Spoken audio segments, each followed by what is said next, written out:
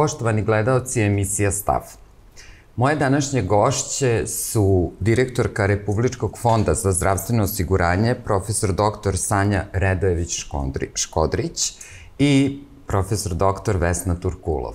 Velika mi je čast i zadovoljstvo što mogu da vas ugostim i što možemo da pričamo o veoma važnim temama. Hvala što govorite za Novosadsku televiziju. Hvala i vama na pozivu.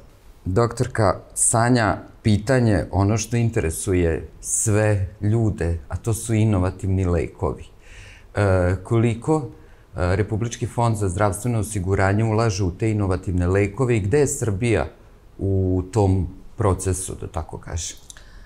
E, inovativni lekovi su najsavremeniji, najmoderniji lekovi i kao takvi imaju veliki značaj za pacijenta, od da toliko interesovanje za inovativne lekove. Ja ću navesti neke od tih uh, efekata pozitivnih, a to je da sa inovativnim lekovima se mnogo duže živi, odnosno na klasičnu terapiju, potpuno drugačiji kvalitet života, navešću, na primer, nema neželjnih efekata kao kod uh, drugih terapija, opadanje kose, mučnine, povraćanje, uh, zatim kraće su bolovanja, ti pacijenti gotovo i da ne odlaze na bolovanja, znatno kraće hospitalizacije, odlaže se odlazak u penziju. Kod mnogih uh, inovativnih lekova, ukoliko se na vreme primene i ukoliko će dati efekat, ne znači da će kod svakog pacijenta sa istom diagnozom svaki inovativni lek dati efekat. Pre toga potrebno da se urade genetske analize, tako da dva pacijenta s istom diagnozom, na primer adenokarcinom pluća, ne znači da su kandidati da dobiju inovativnu terapiju. Samo ukoliko se pokažu genetska analiza, to znači određena mutacija gena, da će dati efekat, onda je taj pacijent kandidat za terapiju. I zato često pacijenti posle vreme čujemo od pacijenata, to zna Vesna, ako imam sreće da sam kandidat za inovativnu terapiju. E, tako da, ukoliko, sada da se vratim, e, su kandidati za inovativnu terapiju, između ostalog, onda će e, njihov dužina životnog veka kod mnogih bude jednaka svakoj drugoj hroničnoj bolesti, kao što je diabetes, kardiovaskularne bolesti i tako dalje. Ono što je važno jeste da inovativne terapije, e, pošto su najsavremenije terapije, one su samim tim i najskuplje terapije. Zašto su najskuplje? Zato što zbog ovih benefita koji su ogromni i po pacijenta i po porodice, sa farmaceutske kompanije su naravno svesne toga i to koriste, ja nemam zaista drugi izraz, jednostavno se koriste, zbog toga su ti lekovi najskuplji. Da. Znači, jednostavno se naplaće. Je činjenica da su iskupe istraživanja zato što se radi o gen, uh, genetskim analizama koje su inače najskuplje analize, istraživanje jako dugo traju i sve to utječe na cenu koja je prosečno po pacijentu godišnje oko 300.000 evra. A sad sam lek košta od 50.000 evra, pa sad imamo lekove i za 3 miliona evra. Inovativni lekovi se koriste kako za maligne, postoje tako i za nemaligne bolesti. Ne treba da zaboravimo da multiplu sklerozu, koja je jednako teška bolest, nekom malignom oboljenju, zatim psorijaza, diabetes, evo, doktorka Vesna mnogo bolje zna o hepatitisima. Hepatitisi su sa pojavom inovativnih terapija postali izlečive bolesti. Zaista je ogroman benefit.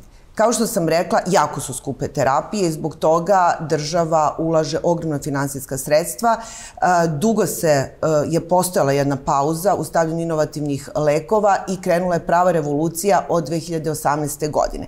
Ja ću navesti tri stvari koje su učinjene da bismo mi postigli ovakav rezultat, da smo sada sa mnogim terapijama ravnopravni Evropi i mnogim razvijenim zemljama, nisam rekla sa svim, imamo još tu da radimo, ali sa mnogim terapijama da dok kada smo krenuli nismo bili ni sa jednom terapijom uh, u, u korak sa svetom. Uh, tako, tri stvari. Prvo što smo stavili, zahvaljujući ogromnim finansijskim sredstvima, veliki broj lekova od 2018. godine. Izašle su tri liste 2000, u periodu 2017. do 2019. uloženo 1,4 milijarde dinara i to je u tom momentu bilo najveće ulaganje ikada u inovativne lekove.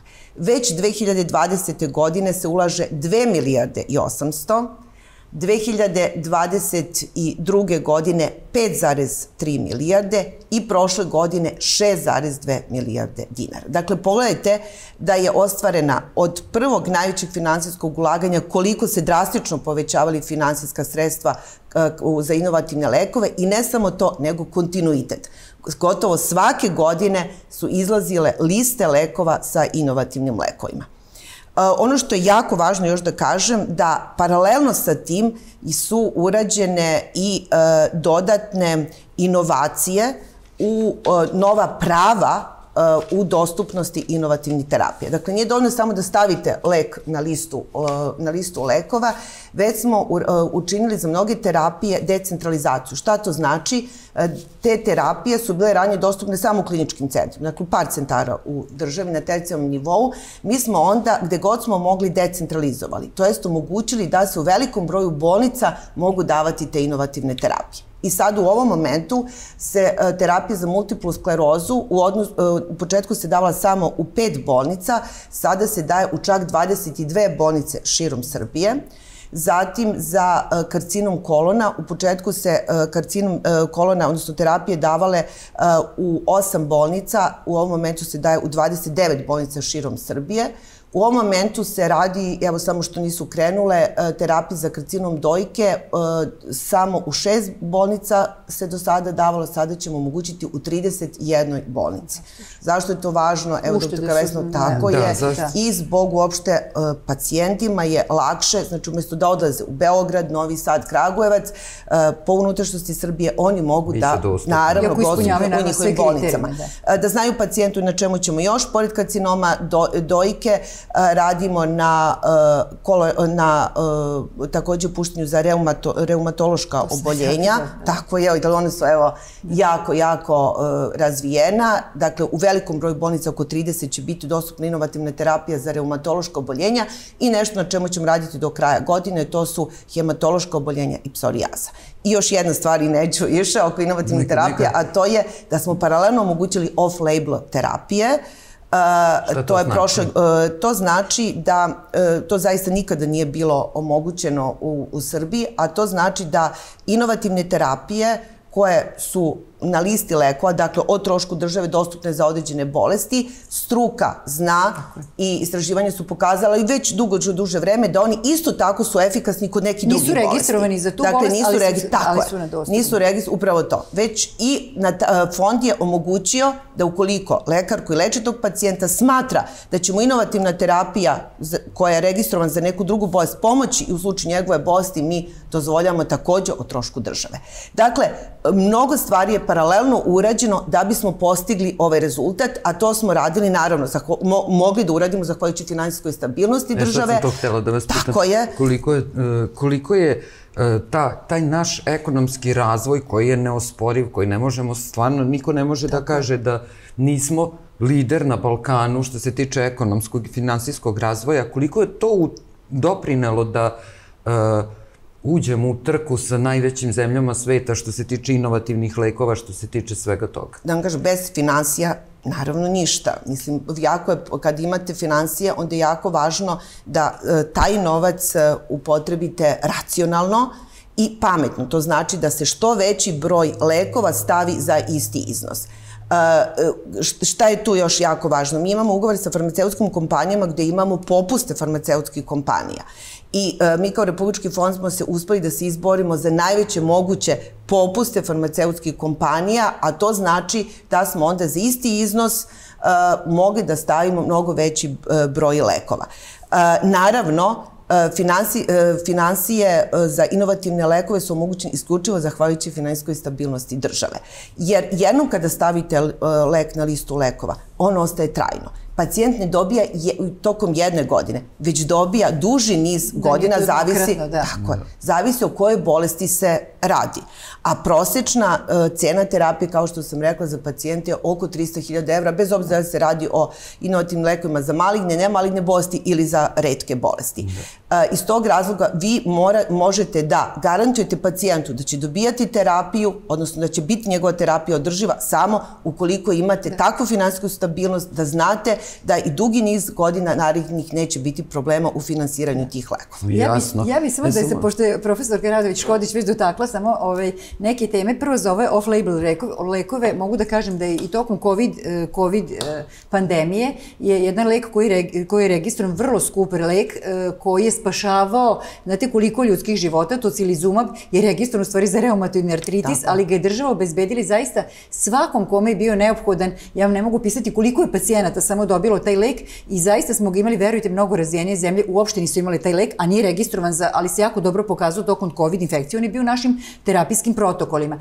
Isto kad je profesorka pomenula, ovaj, pošto sam ja infektolog, da, hepatitis B, C i HIV infekciju, znate koliko ljudi je na, na, ovaj, na terapiji, zahvaljujući tim modernim terapijama, veoma skupim, e, su ove infekcije e, do tada smrtonosne, do sada zapravo smrtonosne prevedene na nivo hronične infekcije. To su infekcije s kojim se živi. Ljudi sa HIV infekcijom potpuno normalni životni vek dožive, zapravo kao da imaju neku hroničnu bolest, kao da imaju diabetes ili astmu, ali to je kontinuirana terapija veoma skupa koja je sve na teret Republičkog fonda, znači za te, za te tri, ove, da kažemo, infektivne bolesti. I ono što još hoću da kažem, kako je rekla profesorka u najavi, jesu to vrlo skupi lekove, ali dugoročno, e, e, dugoročno gledano, kad je rekla, i kvalitet života, i bolovanje, i, i sve druge benefite, dugoročno je to zaista ipak ovaj, jako veliki benefit za, za državu.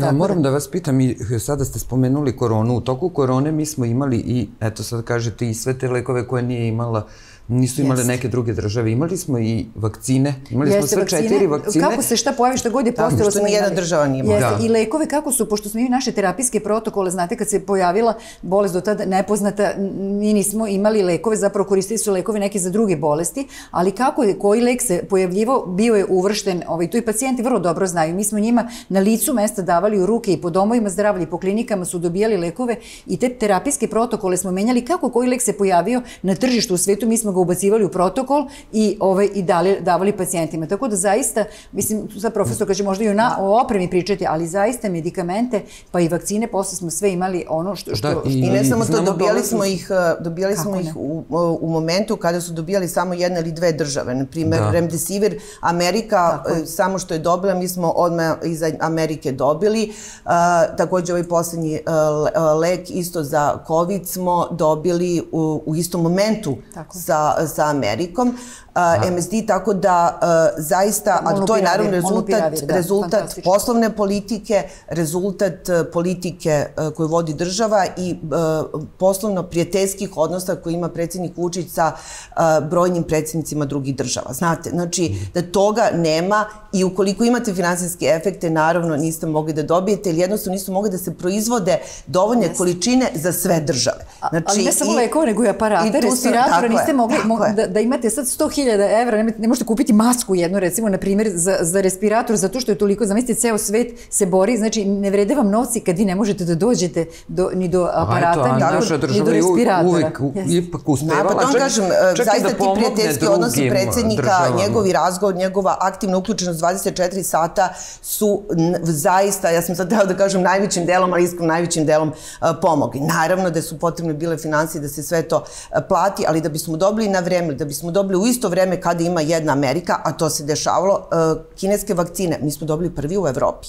I to ne male količine, dobili smo količine za sve koji su bili, da. koji su želi da prime kineske vakcine. Se da. sećate prvih kako milion, ne, kako to ne. znači prvi u Evropi smo dobili i dali kineske vakcine. A mogli su uh, da sami pacijenti biraju vakcine, što nije bilo, da. nije, nije bilo moguće, mislim, u drugim da. državama nije ni jednostavno ni bilo. Kad smo pitali samo da završim finansijske... Ja, sa strane. ja moram Jeste. da kažem, dolazili su, mi smo i snimali ovde ispred sajma, to su bili ljudi iz Bosne, iz Hercegovine, iz Hrvatske, znači, i svi su primali. Nismo, niko nije pitao dakle si, šta si ili svi su dobijali. A ovo što je profesorka rekla, a, mnogi su stranci dovali, dolazili privatnim avionima da dobiju terapiju, jer ti lekovi nisu bili dostupni nisu u njihovim državama. Yes. Dakle, nisu pitali da. koliko će da plate, ja... mislim, a kod nas je to bilo dostupno, naravno, o trošku države. Evo, a kad smo već kod COVID, ja bi se samo dotakla, da, pa da, da možda završimo s COVID-om. Ove države, znate, tri COVID bolnice sagradilo u vrlo kratkom roku. Sad naša COVID bolnica na Mišeluku, koju ćemo u perspektivi ovaj, pretvoriti u gradsku bolnicu sa porodištem kakva nam nedostaje, je za manje od četiri meseca sagrađena 20.000 kvadratnih yes. metara sa 630 postelja, ona je najveća. Tako da, zaista, mislim, za četiri meseca bolnicu, mislim, u tom trenutku kada, kada, kada se borimo za svako mesto, je zaista, zaista bio fantastičan uspjeh. Moram samo to da vas pitam, sad izvinjavam se, ovaj, imam puno pitanja, pa onako uh, skačemo s teme na temu. Uh, gradska bolnica koja će biti... Uh, samo da nam malo onako dočarate kako će to izgledati. Rekli ste da će tu biti najsavremenije porodilište. Pa jeste, u, u stvari, e, porodilište, Novi Sad je, hvala Bogu, zahvaljujući ekonomskom razvoju, e, Novi Sad je grad koji je jedan od redkih koji ima pozitivan prirodni priraštaj i zaista kapaciteti našeg jedinog porodilišta u kliničkom centru Vojvodine, Beograd ima više porodilišta, su prevaziđeni udavno 6.500 porođaja godišnje je preko svakih normi i ne možemo da obezbedimo taj kvalitet usluge kakav se traži, pogotovo u poslednje vreme, znate, kada se priča o tom takozvanom akušerskom nasilju, zapravo ovo novo porodilište bi znatno rasteretilo kapacitete e, ovog postojećeg porodilišta i, ne, bi, bila bi da zaista vrhunska usluga. Znate kako meni kažu, ovaj, kada tako, vi, e, cela Srbija ima porodilišta, Novi Sad Betaniju. Novi Sad Betaniju, da, tako se da. zove naše porodilište, tako jeste, da. u žargonu. I hoću da kažem da bismo time mogli u stvari da podignemo kvalitet usluga, tu bismo mogli i pratnju da obezbedimo na porođaju i bezbolni porođaj i mnoge, mnogo veći komfor nego što će biti ovako, a naravno i ostali deo će biti prenamenjen za gradsku bolnicu kakva nama zaista ovaj, nedostaje već dugi niz godina i zapravo time bi se rasteretili kapaciteti kliničkog centra Vojvodine koji zaista treba da budu za neke druge svrhe, za neku vrhunsku medicinu, ali zaista puno toga se može lečiti na, na sekundarnoj na sekundarnom nivou zdravstvene zaštite. Jedva čekamo da e, to bude, ne pitamo da li će biti, već znamo da će biti. Sad opet moram da se vratim na vas. Pored tih malignih bolesti imamo i lekove za uh, inovativne lekove za lečenje diabetesa. Isto, uh, diabetes je bolest koja evo sada baš zauzima, da kažem, veliki procenat kod ljudi, mnogo ljudi oboleva od stres, nepravilna ishrana, sve tako živo, da. tako da... U globalnom svetu, a i kod nas je da, sve veći broj Da, sve veći broj i sve mlađi i mlađi ljudi. I uh, Republički fond za, zdrav, za uh, zdravstveno osiguranje ima i inovativne lekove za lečenje diabetesa. Tako je. Evo sad ću da vam objasnim za inovativne lekove, samo završim, pošto ste me pitali za finansijske uh, efekte za inovativne lekove uh, uh, i kad smo pričali o finansijskoj stabilnosti, primere radi samo da građani shvate, mi smo u 2023 sledećoj godini za sve inovativne lekove, nekada se stavljaju prvi put na listu, već svi koji su primili inovativne terapije dali 30 milijardi dinara. To je 7 milijardi više u odnosu na 2022. godinu. A pre 2017. dakle, pre nego što smo krenuli sa uh, prioritetom u stavljanju inovativnih lekova, prosečno je bilo 6 milijardi. Pa sad vidite koliko je sve više sredstava izdvaja svake godine. Ove godine opet očekujemo više, naravno. Zašto? Zato što svake godine je veći broj pacijenata na tim terapijama i samim tim su finansijski efekti veći. A to naravno ništa ne bi bilo moguće da celokupna država ne stoji dobro finansijski. Kada, su, kada je u pitanju diabetes, da, on je hronično oboljenje koje uh, nažalost ima veliki broj pacijenata, oko 700.000 je registrovano, a procena je da ih je mnogo više, oko 5.200 je, tako je, deca, samo registrovanih je 700.000. Naravno, profesor kod toga mnogo ovaj, bolje zna da mnogi kod nas i ne znaju da imaju diabetes, najgori je taj latentni diabetes, a to je da onaj šećer od 6 do 7, pa mnogi kažu, ma nije to ništa, juče sam... Prikriveni, da, tako, da. prikriveni, sinoć sam uh, je pojeo kasno, a u stvari je to naj, u stvari najteži koji koji, koji onako, da tako kažem, podmoklo ostavlja dugoročno posledice na brojnim organima i drugi problem koji je posle diabetesa, posle COVID-a, ovaj, a to je da imamo takođe uh, diabetes koji je posledica COVID infekcije. Iz tog razloga je veliki broj obolelih. Od 2020. godine je urađeno ogrom, veliki broj stvari za diabetes. Zašto kažem stvari? Odnosno, zato što za diabetes nije dovoljan samo lek, već su potrebna i medicinsko-tehnička pomagala, potrebna je i rehabilitacija, razni suplementi i tako da. Dakle, i testovi, i testovi za diagnostiku, to isto laboratorijske analize. Dakle, a to sve ima i to ništa od toga pacijent ne čeka. Kada su u pitanju prava pacijenata, pitali ste me prvo za lekove, mi smo uveli najsavremenije lekove za diabetes, to su četiri leka, dva u obliku tablete i dva injekciona.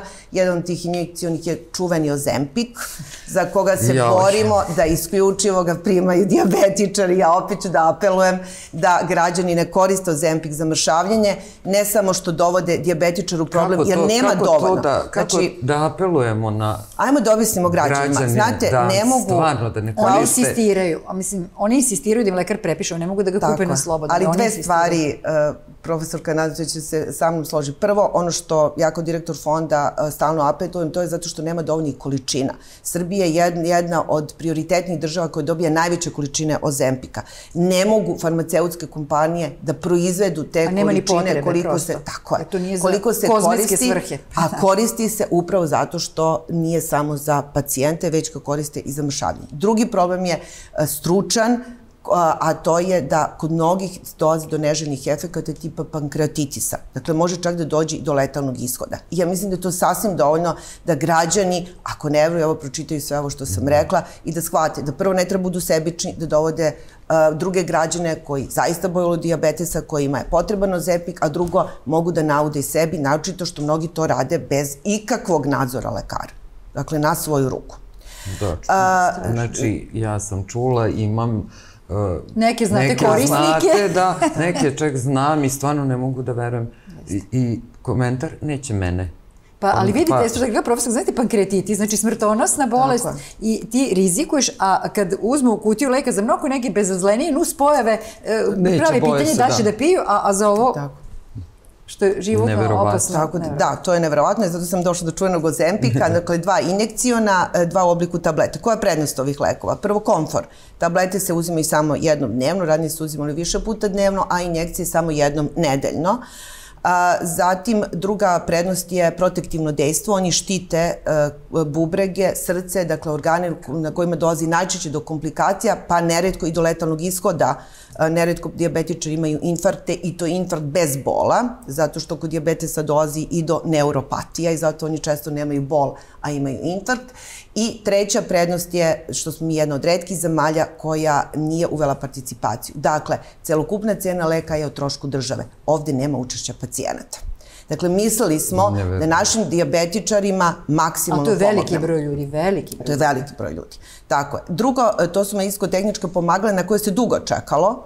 Uh, uvedene su 2020. godine, to su senzori, dakle, koji omogućavaju kontinuirano 24-časovno praćenje nivoa šećera mm -hmm. i iz tog razloga ti pacijenti ne moraju da se bodu. Naročito smo gledali da to uvedemo u prvo mesto da za decu sa nestabilnim diabetesom, posebnim e, tipom diabetesa i koji su na insulinskim pumpama i za odrasle.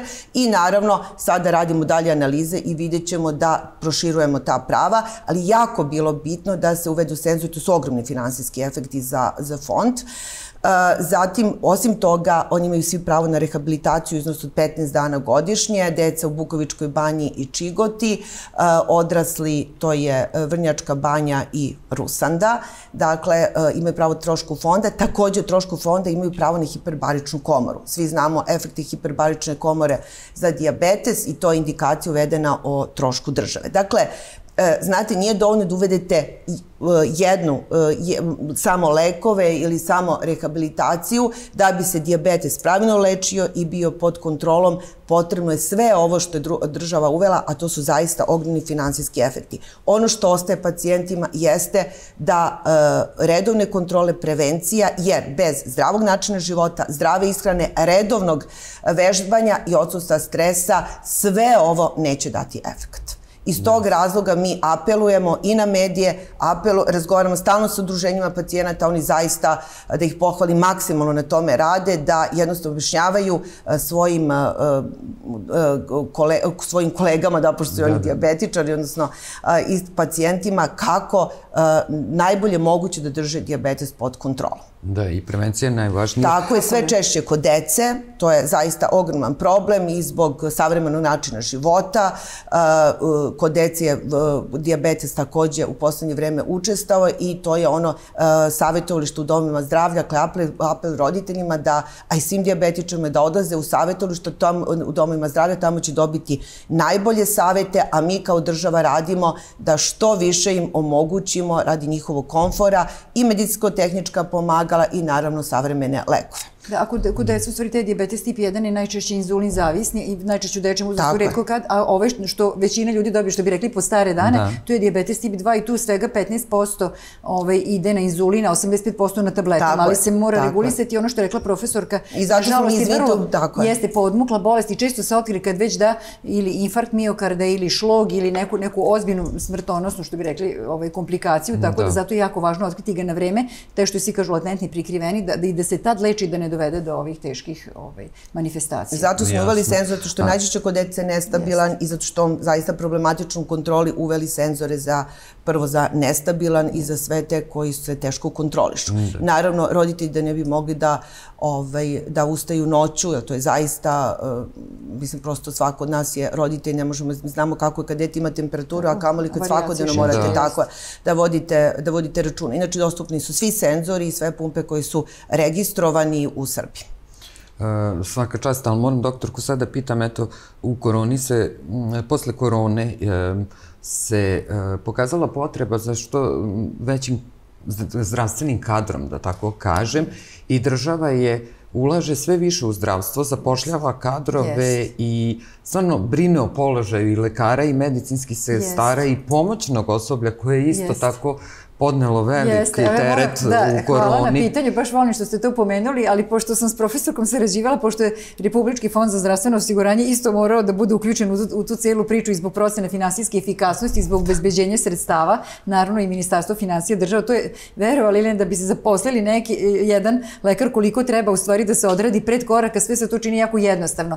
Ali da, država da, je od, misle kao jeste, to je tako od početka da. COVID-a preko 10.000 zdravstvenih radnika zaposlila, 20 negde oko 3,5 hiljade i sada još prošle Tako godine 8,5 hiljada po da. zaključku vlade, svi koji su radili tokom COVID pandemije i naravno to smo ovaj, naravno sa sektorom za osiguranje Republičkog fonda za zdravstveno osiguranje zajedno Ministarstvo zdravlja radilo pre svega država na tome i to je zaista veliki broj zdravstvenih radnika. Još bih pomenula zapošljavanje najboljih diplomaca svake godine u dva puta, u dva navrata po 100 najboljih diplomaca, sad pre neki dan je isto zaposleno, znači svi medicinski fakulteti dobiju kvotu koliko treba da daju kandidate najbolje diplomiranih studenta i zaista zaista i naravno specializacije im se odobravaju i zaista moramo ići na to zanavljanje kadra, to nam je jako važno zbog kontinuiteta, tako da, da zaista mislim ne možemo grešiti dušu, jako je puno ovaj, se i zaposlilo kadra. A i plate ovaj, su povećane. Da, u... jesu, povećane su zaista, to, ja sad znam neke zaista, koji su... Da Znate kako neki kažu, koji su otišli, kaže lepše izgleda Nemačka ovaj, mnogo odavde nego kad odeš tamo na tipa kad vi da. pogledate troškove života tamo, koliko eh, da su um, odvojeni od svojih prijatelja, roditelja, kuće, svega, a verujte plate koliko im ostane čisto za život budu toliko bi imali i u Srbiji. Tako, Tako da zaista ne možemo da, da, da budemo nekorektni, da ne kažemo da su, da su plate zaista porasle i da su zaista pristojne. Da, i da ćemo vraćati taj kadar što je otišao ja se iskreno nadam da ćemo ih privući da se ranijem, da, jeste. nekom ranijem periodu. Uh, da, ali jako važno što je rekao profesor kada im mi sad zadržavamo i da zaista je zaposlen ogroman, ogroman broj i da ne treba da zaboravimo da do 2012. godine oni nisu imali pravo ni da dobiju specijalizaciju, a da, da su to, te da. specijalizacije tek nakon toga puštene. A da biste vi dobili jednog E, lekara, specijalistu sa iskustvom treba sigurno treba 10 godina. godina da. Tako je. Ali ja moram da kažem da zaista e, velika, veliko interesovanje mladih lekara. Mi smo pre neki dan imali jedan skup gde, su, gde smo okupili veliki broj, jeste, jako je bilo posvećeno, jeste mladih lekari, bili su rukovodioci svih zdravstvenih ustanova ovde i onda su prosto da i oni čuju, da usluškuju te potrebe mladih lekara, kako u stvari njihova vizija zdravstva yes. u, narednom, u narednih 4-5 godina, da oni daju svoje predloge i zaista, mislim, većina toga je vrlo, e, da kažemo, realno realno izvodljiva. Baš... Pa oni traže usavršavanja, ovaj, naravno da, i napolju, ali da, dovode, da dolaze strani stručnjaci. Za nas bi to bilo mnogo isplativije da dovodimo strane, da uvodimo neke nove inovativne metode koje se ne rade, da ne bi moralo, mislim, fond, znate Tako da je. ipak daje velika sredstva i za lečenje i ovo u inostranstvu. Mislim, to je posebna jedna kategorija, ali da, da bismo i tu neke uštede e, ovaj, ovaj, dobili, da dovedemo te stručnjake ovde, da oni obuče mlade reka, ali ipak ne može mlad lekar odmah da ide na usavršavanje u sastavu, ipak mora da stekne izvesno kliničko iskustvo, ali prosto i oni da se, jako im znači da se čuje njihovo mišljenje, njihov stan, njih, njihov glas, to su naše mlade kolege, verujte, to su najbolji studenti, to su stvarno vrsni ove mladi ljudi čestiti, oni su zaista i voljni i svi do jednog i, i da se uključe i da svi zajedno pomognemo, da svi ostanu i da, da svi zajedno ovaj, borimo. Tako da zaista mene iznenadilo koliko je to optimizam i koliko je pozitivna energija u tim mladim ljudima. Da, ali uh, moram da kažem da i država osluškuje i mlade ljude i stvarno uh, ljude uopšte izlazi u susrete, nije to, ovaj, to mora biti Sinergija, neki, je. Tako, tako je. A ovo što je rekla profesorka, profesorka inače radila uh, sad u Ministarstvu zdravlja uh, upravo na zapošljavanju i što mi ona rekla, zaista čovjek ne može ni da veruje šta sve država treba da uradi i koji sve institucije i faktori utiču, uh, treba da sve saberete da biste došli do zapošljavanja tolikog pa, broja ja, ljudi. Ja zaista i kao rukovodilac klinike nisam znala dok nisam sela tamo da koliko je to kompleksno. Vi mislite to tako lako zaposliti sto lekara, pa to je posao od dva, tri da. meseca da vi odradite i sve i preko vlade i zaključaka i finansije i Republičkog fonda i kadrove, sve to treba onda proširiti kadrovski plan. Tako. Nije to ni malo jednostavno. Ma, I morate da, se uklopiti u mrežu, u kadrove, mislim i da to bude finansijski izvodljivo. To nije sad samo jednokratno, to treba, oni trebaju da dobijaju platu stalno, tako da to su zaista velika sredstva, verujte. Mislim, to stvarno dok, dok evo ni ja koja sam baš 33 godine u zdravstvu nisam mogla da pretpostavim dok nisam videla koliko je to kompleksno. Sve što se čini običnom građaninu tako jednostavno je da, vrlo komplikovano. Ja, Znate, lako je obećati, sad ćete vi da zaposli ne znam koliko, Nije. ili sad ćemo da stavimo sve. Ja stalno kažem, ja mogu da kažem, stavit ćemo sve inovativne lekove na listu lekova. I to neke države su i radile. Sad se vraćam opet na... Da, urad, ne uradila je uh, Bosna u jednom momentu Hrvatske. Znate šta se desilo? Posle toga su ostali bez lekova. Neodrživo. Znači, to je krajnje neodrživo. Znači, mi da- kao ozbiljna i odgovorna država, politika kako vodi predsednik Vučić, mi kad tim ljudima garantujemo da kad krenu sa terapijom će dobijati stalno lek. Da kad se zaposla, što je rekao prosto, kad će stalno dobijati platu. I to je zaista neverovatan od ogromnog značaja, jer jednostavno vam obezbeđuje sigurnost sigurnost života Jasno. u Srbiji.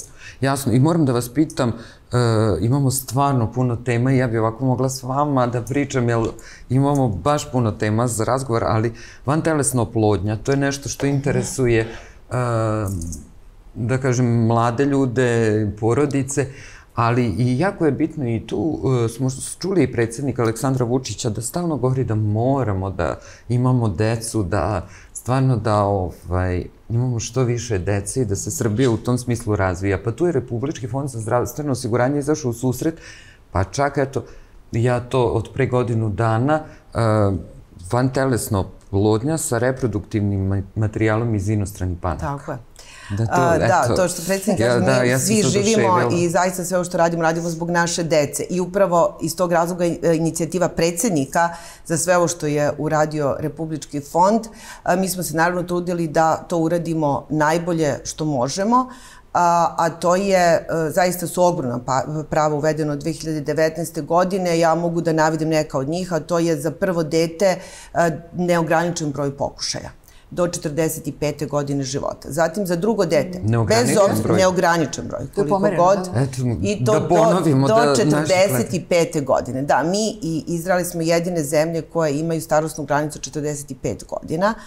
A, zatim, za drugo dete, bez obzira da li je dobijeno prirodnim prvo dete ili van telesnom takođe imaju pravo parovi do 45. godine da apliciraju za drugo dete, ali tu nije neograničen, to je ukupno šest pokušaja. E, zatim, neograničeno zamrzavanje reproduktivnog materijala, bez obzira da su to embrioni. Znate, neko ide na van telesnu pa mu ostane višak embrion, da onda ima pravo o trošku države da zamrzne za neki drugi pokušaj. Uh, Zatim, takođe, kod muškaraca koji imaju azospermiju, to znači da ti uh, muškarci ne mogu da imaju dete i onda bez veze se gubi vreme, onda imaju pravo da takođe za van telesnu oplodnju, ali ja bih izdvojila dva poslednja, odnosno poslednja koja smo uveli prava, ali jako značajna, jedno na kome se dugo čekalo i koje smo profesorka i ja Ovaj, to je zajedno radilo tada Ministarstvo zdravlja Republički fond pre godinu i po dana uh, radile, a to je uh, u isto vreme izmena i prava zakonskog i uh, naravno uh, izmena u smislu da je to dozvoljeno o trošku država do 45. godine, a to je uvoz reproduktivnog materijala.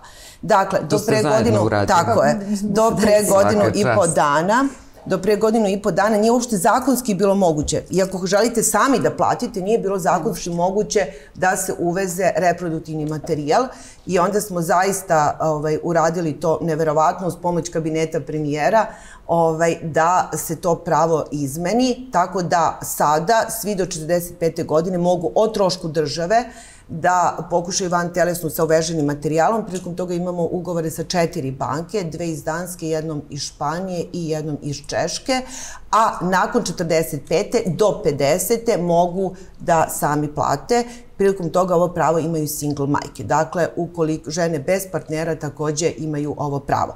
I ako, uh, ja moram da kažem da smo zaista ponosni na ovaj da. rezultat, da. tako da ću iz tog razloga da, da kažem i brojke. Uh, tako, do sada se javilo 2000, uh, uh, u ovom momentu, pošto mi naravno imamo izmene svako jutro, je 1200, za 1200 odobreno. Šta to znači? To ne znači da za ostatak od 800 neće biti odobreno, nego prosto moraju da prođu kompjuterske aplikaciju da se vidi da su svi ovaj, papiri u redu. Od toga, kod 860 je već urađena vantelesna oplodnja, imamo potvrđenih 200 trudnoća, a od toga je već rođeno 20 beba. Prva beba je rođena u decembru mesecu i evo decembru do sada je već rođeno 20 živih i zdravih beba. I Divno. to je zaista... Da, a profesor kada je rekao da tu stvari e, upravo za biomedicinu koja je pri tako Ministarstvu je. zdravlja je ta koja je u stvari... aktivno svi da, učestvoj. Sa, tako sa, koja... I drugo pravo, takođe jako značajno, to je u ovoj epidemiji malignih bolesti uh, i ne samo epidemiji, nego svi smo svesni da se pomeraju granici i da sve mlađi i mlađi, nažalost, obolevi od raznih malignih bolesti, to je onkofertilitet, dakle kod svih osoba koji imaju maligne bolesti, oni mogu da zamrznu reproduktivni materijal u trošku države, pre nego što krenu na terapiju, kada završe sa terapijom, i kada je njihovo stanje tako da mogu da, da idu na van telesnu, onda o trošku države mogu sa tim materijalom da se uradi van telesno oplodnje. Na taj način smo im omogućili da ljudi sa teškim diagnozama bar imaju jednu brigu manje, a to je da mogu da se ostvare kao roditelji. Da, predivno. To su, da, zaista dva ogromna... Iskonsko, a nažalost veliki broj ljudi danas ne može da, da, ovaj, Jest, da, i stres. Da dobi potomstvo, tako da, pa da. i stres možda i, i način ishrane, života. Sve puno i hormona, mislim, malih, zaista, yes, toliko hormonskih poremeća nikada nije bilo, tako da yes, verovatno yes. je to jedan od razloga,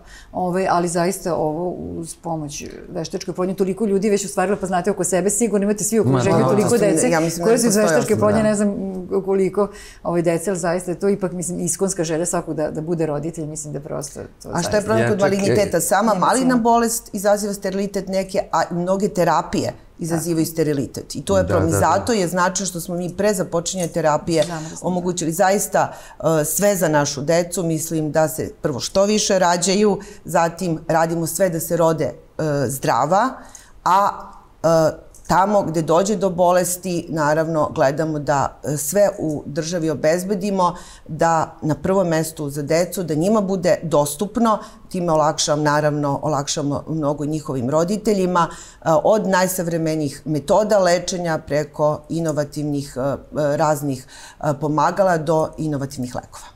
Neverovatno, stvarno i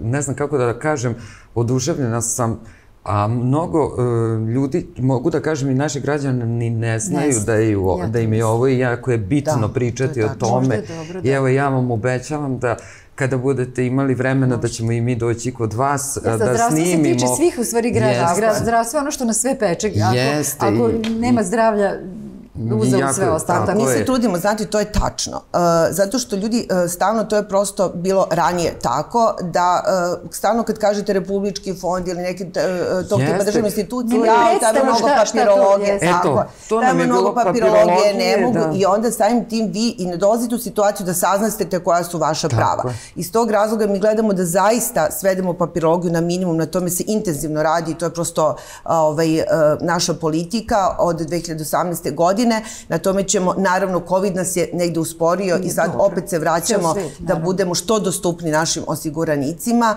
a, a, a u, u tom smislu i da organizujemo neki način ne, savjetovališta, odnosno da mogu da dođu uvek u najbližu filijalu ispostavu fonda gde će moći od sada da saznaju o svim svojim pravima.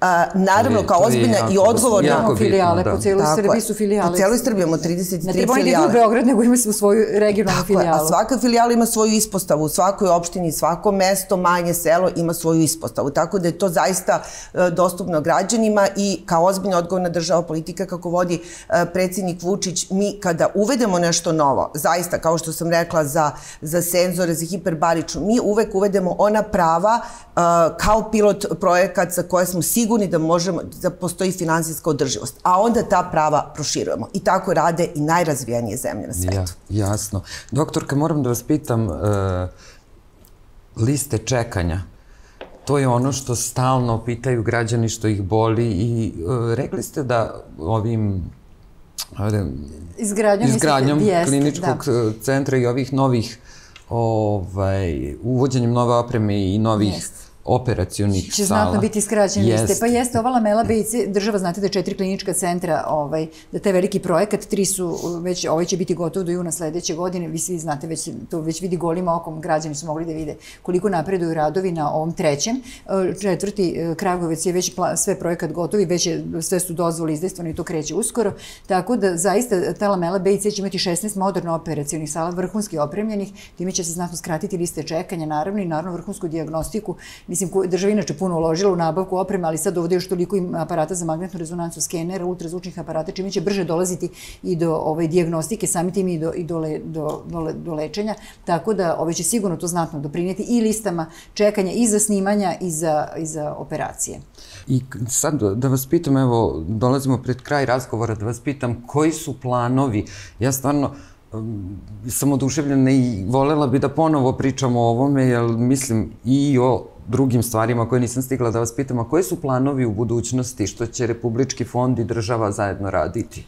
Pa, planovi su, ja mogu da nastavim na ovaj, uh, ovo posljednje što smo pričali, to su liste čekanja. Republički fond učestvuje delom u ovaj, listama čekanja, vodi, uh, analizira uh, liste čekanja i može nekim svojim aktivnostima da to prinese. Naprimjer, kao što je za van telesnu oplodnju, mi nemamo liste čekanja, jer postoji pored šest državnih ugovor sa 16 privatnih klinika. Prilikom toga jako je važno što sami osiguranici mogu da biraju u kojoj klinici će da radi van telesnu oplodnju. To država ne utiče.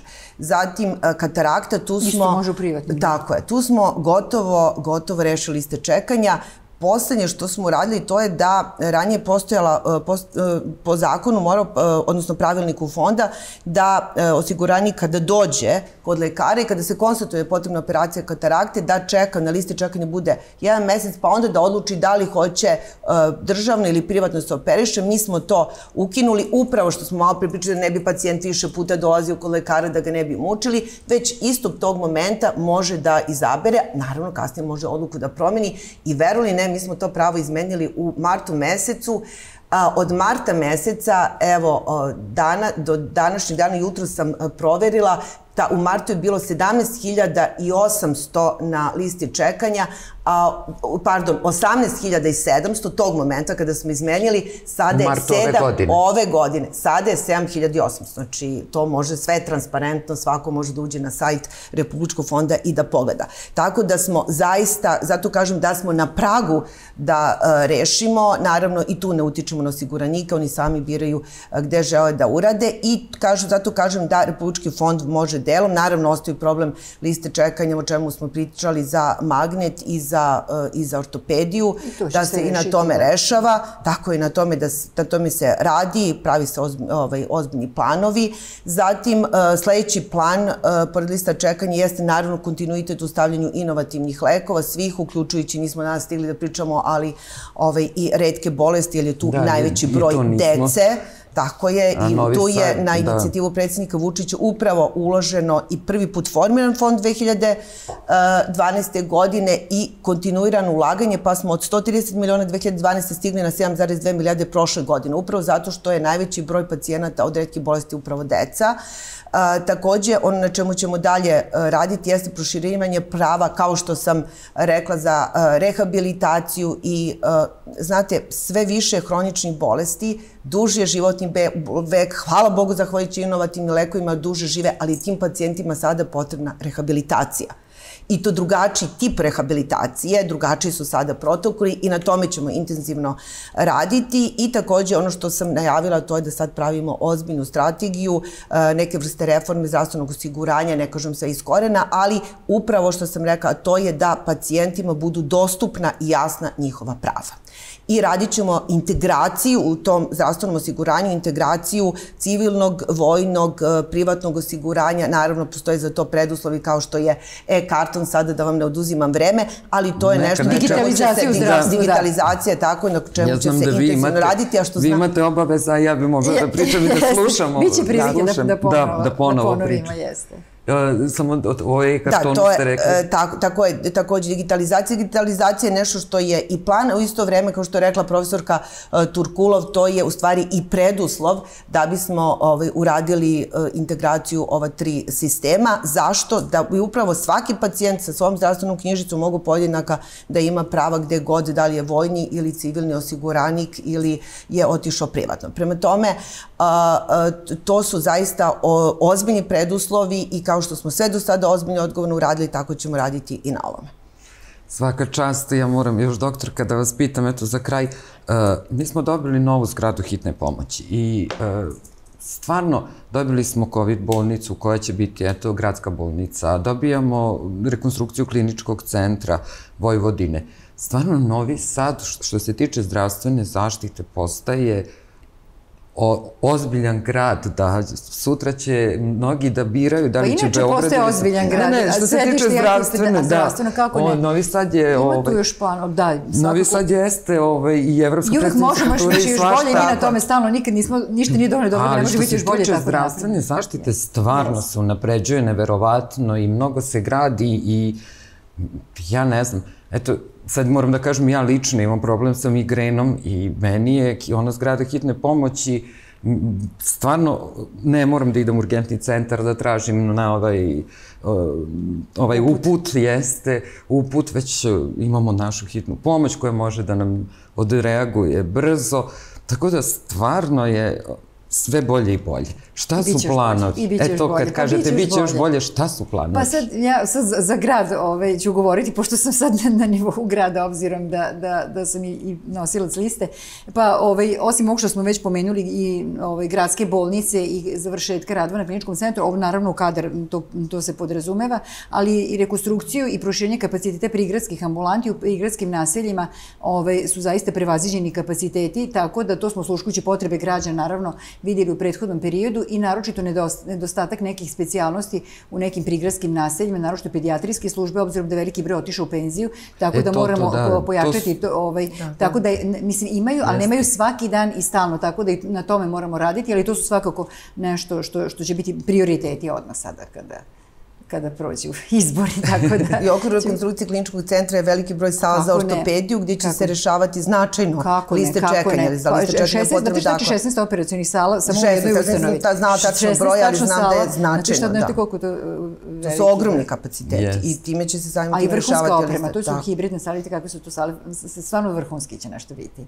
Velika investicija, velika investicija. Da, vi to pričate sa onako, sa entuzijazmom. Pa ja, da... zato, što, zato što gledam svaki dan kako, kako napreduju radovi, tako da to bi trebalo do, do funkciji da bude do juna sledeće godine. Znači, do kraja ove godine će biti građevinski završeno, pa još dok se one tehnički prijemi, sve to oprema, oprema do, do juna stigne, bi treba da. sledeće godine funkciji da bude. Znači što je zdravstveni sistem je živ sistem i on se stalno menja u zdravstvu imate stalno inovacije i iz tog razloga stalno se nešto novo pojavi i zato mi pričamo ovako ovaj, e, sa ogromnim entuzijazmom, ali isto tako jako važno je održivost. Ne treba da zaboravimo da uh, su, je to 2006. godine, mislim da je bilo, ali uh, u period kada nismo imali ni vate ni gaze, kada moja baka je kukov, kupovala kuk, pa je onda i pored toga čekala kada će biti operisana. Sada je nezamislivo da pacijent kupi protezu.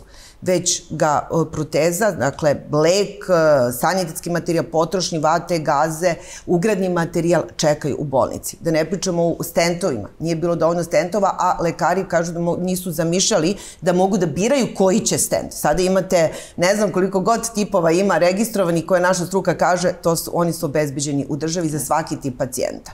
Tako da, da ne pričam o ugradnom materijalu tipa Tavija na koji se dugo čekao, dakle, to je ugradni materijal za uh, aortnu valvulu gde uh, jedini način da rešite problem kod pacijenta i koji je došao do letalnog ishoda. Dakle, tako mu je stanje srca, ne može da se uradi otvorena operacija, već isključivo Tavi i ukoliko nemate taj ugradni materijal, tom pacijentu ne možete pomoći.